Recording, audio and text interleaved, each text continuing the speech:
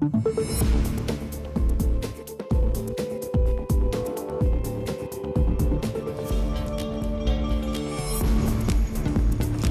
Bonsoir et merci de regarder euh, TV7. On est ensemble pour une nouvelle soirée euh, d'infos en direct au sommaire. Ce soir, Bordeaux euh, fête le fleuve qui revient dès demain sur les quais, un événement populaire autour de la Garonne.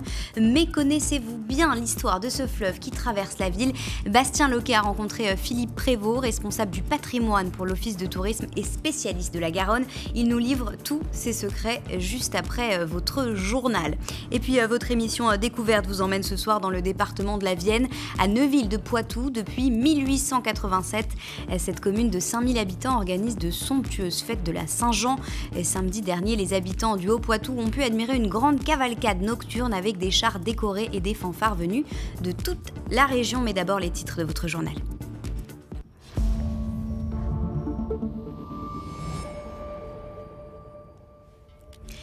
La taxe d'habitation sera bien supprimée pour tous les foyers à partir de 2023. Une, exonération qui fera euh, économiser en moyenne 774 euros au foyer girondin. Direction ce soir Saint-Aubin-du-Médoc, la commune où l'économie sera la plus importante du département.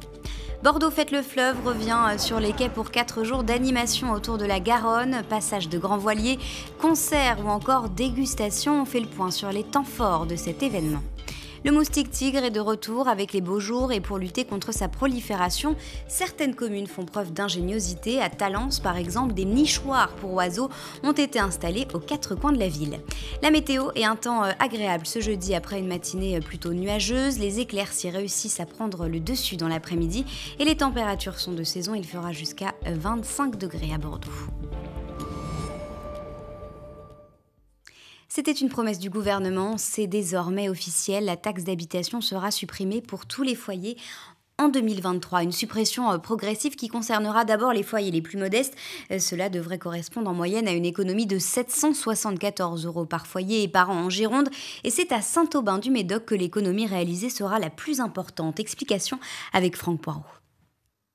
Saint-Aubin-du-Médoc compte 7300 habitants et un peu plus de 2700 foyers fiscaux. C'est ici que les exonérations de taxes d'habitation, mises en place par le gouvernement à partir de 2020, seront les plus importantes de la métropole et du département. L'économie en moyenne se monte à 1600 euros pour l'ensemble des habitants de la commune. Très contente, voilà.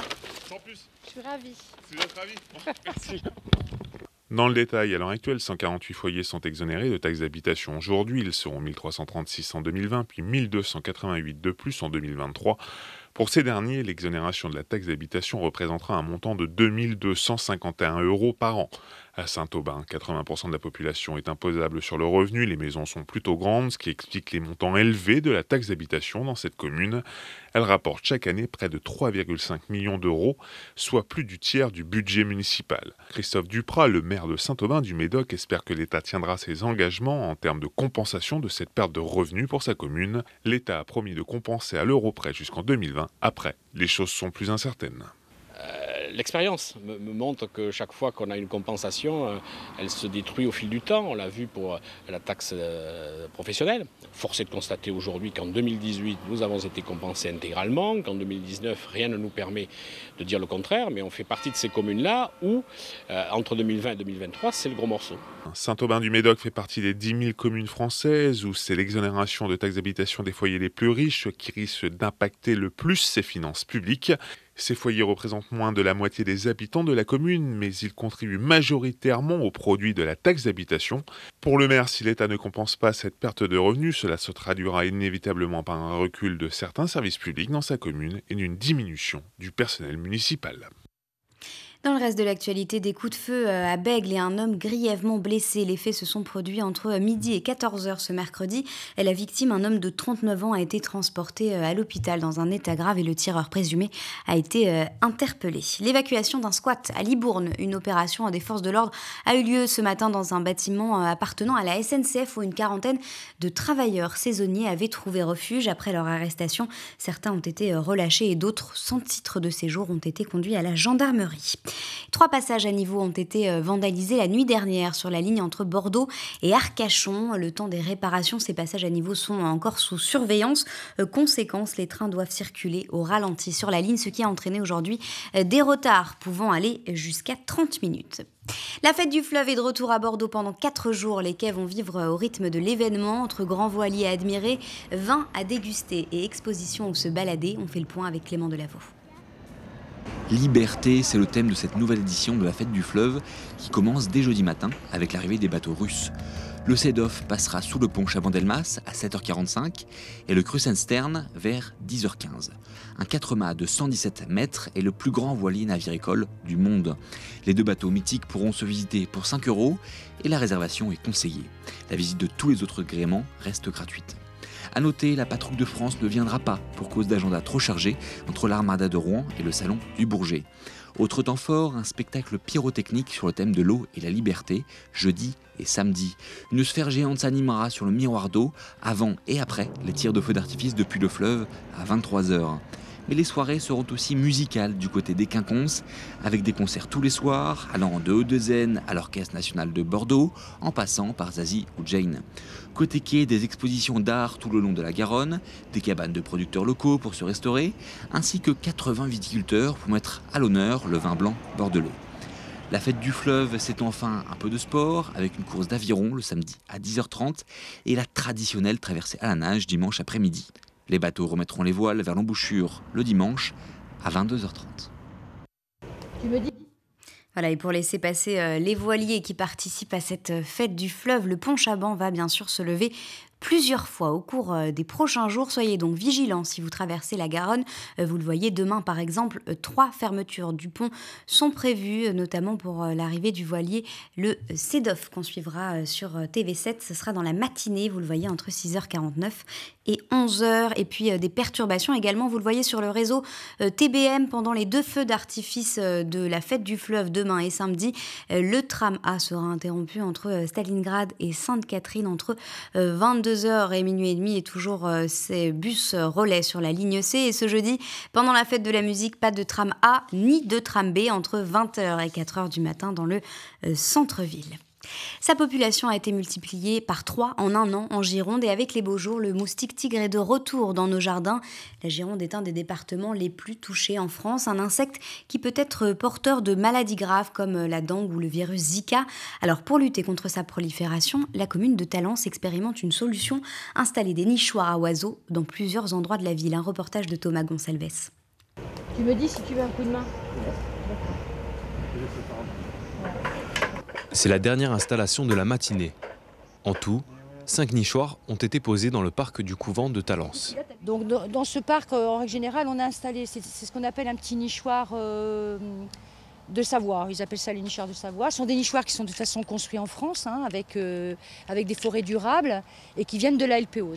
La Maison du développement durable de Talence lance aujourd'hui une opération de deux semaines et compte installer plus de 40 nichoirs dans des lieux calmes de la ville une mission de protection de la biodiversité qui permet aussi de lutter efficacement contre les moustiques. Euh, on sait qu'un passereau en moyenne, une couvée entière peut manger entre 400 et 500 insectes par jour. Donc on se dit que peut-être euh, on peut avoir quand même une, retombée certaine sur ces, moustiques qui embêtent tout le monde. Hein. On est très embêtés. D'une part parce que nous, on ne veut pas euh, avoir recours aux pesticides puisqu'on est zéro, on est à zéro phyto sur la ville, sur l'ensemble de tout le territoire. Donc euh, on essaye des choses qui soient écologiques, dont les oiseaux, dont les passereaux. Pour la mairie de Talence, il ne s'agit pas seulement d'installer et attendre. Il faudra évidemment vérifier si l'opération est efficace. Oui, c'est un suivi parce qu'en fait, il faut aussi qu'on soit capable de se dire est-ce qu'on les a installés à l'endroit où les oiseaux les ont trouvés ou est-ce que, ça fonctionne tout simplement? Donc, on a mis en place un observatoire avec des professionnels qui s'occupent des oiseaux de manière à se dire est-ce que a tous les nichoirs sont occupés et sinon, eh bien, on les déplace de manière à ce que on maximise le nombre d'oiseaux euh, qui puissent trouver refuge dans ces, dans ces nids l'année prochaine. Pour l'instant, difficile de prédire le nombre de nichoirs qui sera occupé à long terme. La Maison du développement durable entend tout de même au moins atteindre les 30% d'occupation. Et une compétition pour le moins euh, originale, le championnat du monde de tonte de moutons va avoir lieu euh, dans la région en Haute-Vienne au début du mois de juillet. 300 tondeurs et près de 5000 bêtes sont attendus. L'occasion de découvrir les spécificités de ce métier avec un des participants girondins lors d'un de ses entraînements ce matin. Aujourd'hui, on va réaliser euh, la tonte du troupeau de Rachel, qui, a, est bergère en éco-pastoralisme dans la ville de Lormont et aux alentours. Et donc quand je vais tondre, c'est 26 bêtes. Comment on tond un mouton? Eh bien, Il utilise différentes techniques. Moi, en l'occurrence, j'utilise une méthode de Nouvelle-Zélande, on appelle ça la méthode Bowen. Et donc je la, tiens uniquement, on va dire, grâce à mes, jambes. C'est la contention qui fait beaucoup pour l'animal. Et à l'aide d'un autre bras pour la tenir et je la manipule en tournant autour d'elle. Alors euh, le championnat de France qui a lieu chaque année. Euh, après en France, il y a peut-être euh, trois petits concours locaux autres. Et après en Nouvelle-Zélande, je fais des saisons aussi là-bas l'hiver. Et là-bas, je fais d'autres concours. La qualité, à peu près 60% de la notation. Et donc on va, on va compter pour voir que la bête a été bien tendue, qu'il n'y ait pas de blessure et qu'il n'y ait pas de, mèche de laine euh, derrière. Il y a des points de pénalité en fonction de. Il y a des, juges, une batterie de juges qui, tournent et qui vérifient que l'animal a été. que la, la, toison a été coupée en un seul euh, morceau pour euh, la valoriser par la suite. Je choisis ce métier parce que je suis né dedans. Mon père était tondeur de moutons professionnel également pendant plus de 35 ans et donc j'ai embrassé ce métier-là par la suite parce qu'il m'a donné envie. Voilà, si vous voulez assister au championnat de tonte de moutons, ça se passe du 1er au 7 juillet au Dora, dans la Haute-Vienne. Et on reste dans la région parce que ce soir, Découverte nous emmène dans le département de la Vienne, à Neuville de Poitou. Depuis 1887, la commune de 5000 habitants organise de magnifiques fêtes de la Saint-Jean. Et samedi dernier, les habitants du Haut-Poitou ont pu admirer une grande cavalcade nocturne avec des chars décorés et des fanfares venus de toute la région. Parmi les musiciens, Marius, 13 ans, saxophoniste. Regardez. J'ai pris des cours d'abord à une école de musique et puis euh, j'ai été, euh, je suis venu là. Ce que j'aime bien dans la fanfare, c'est l'ambiance, euh, la, bah, la musique. Déjà, faire la musique, c'est.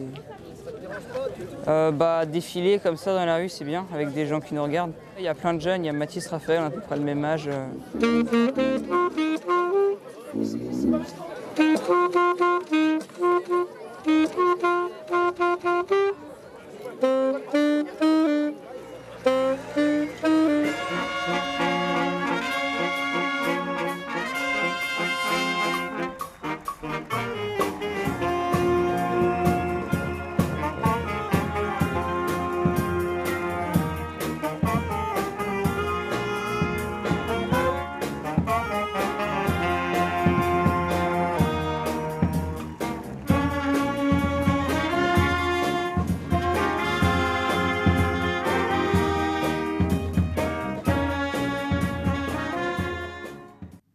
Et puis la ville de Libourne est candidate pour accueillir la Coupe euh, du Monde de rugby après le Japon cette année.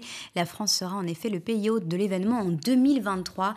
la ville de Libourne avait déjà porté sa candidature à l'occasion de l'Euro euh, de football, mais elle n'avait pas été retenue euh, à cause notamment d'une faible capacité hôtelière. Vous restez avec nous euh, sur euh, TV7. Bordeaux Fête le Fleuve revient dès demain sur les quais. Un événement euh, populaire autour de la Garonne. Mais connaissez-vous bien l'histoire de ce fleuve qui traverse la ville? Bastien Loquet a rencontré un spécialiste qui nous livre tous ses secrets dans un instant.